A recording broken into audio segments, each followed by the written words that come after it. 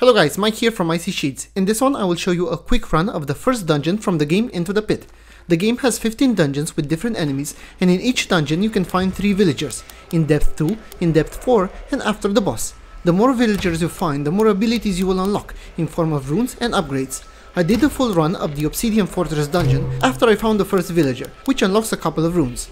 If you're looking for the full achievements guide, I will post it soon and it will be linked in the description down below. Do not forget to like and subscribe and until next time stay frosty and extra spicy.